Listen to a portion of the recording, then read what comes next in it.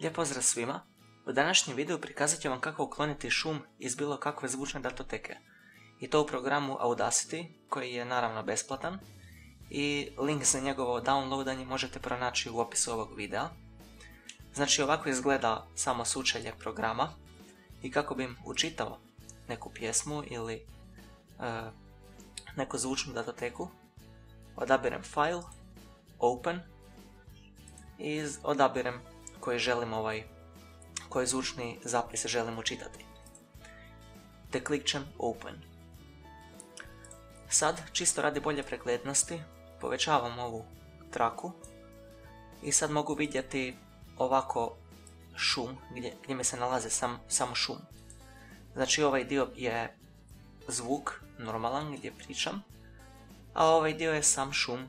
Sad kako bih ja uklonio taj šum, označujem jedan dio gdje se nalazi samo šum, te odabirem ovdje u opcijama efekt i od efekata odabirem noise reduction, te klikćem na ovaj step, kod step 1 na get noise profile. Sad kad sam to učinio, potrebno je odabrati cijelu ovu zvučnu datoteku, a to jednostavno radite klikom na sam početak ove, ovog audio zapisa i onda ponovno odabirate ovu opciju Effect i ponovno odabirate Noise Reduction. A sad ne klikćete na Get Noise Profile, već podešavate ove slajdere ovisno o vašim potrebama. Ova donja dva Sensitivity i Frequency Smoothing e, nije potrebno micati, oni funkcioniraju ovako kako jesu, dok je bitno mijenjati ovaj prvi slider noise reduction ovisno o vašim potrebama. Sad ću vam ja prikazati kako sam ja kako sam ja to štimao.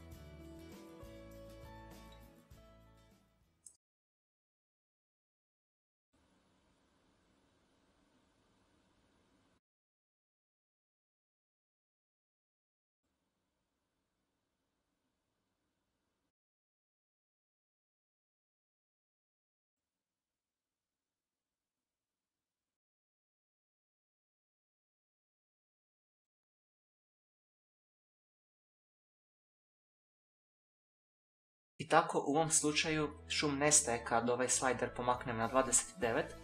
Bitno je samo napomenuti da nemojte do kraja povećavati ovaj slider jer onda može doći do značajnijih gubitaka u kvaliteti vašeg zvuka.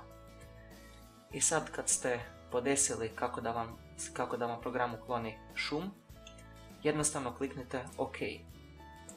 I sad možete vidjeti, ovaj tu dio se je izravnao, što znači da više nema onih defekata i da i da je sam šum nestao, kao što možete čuti.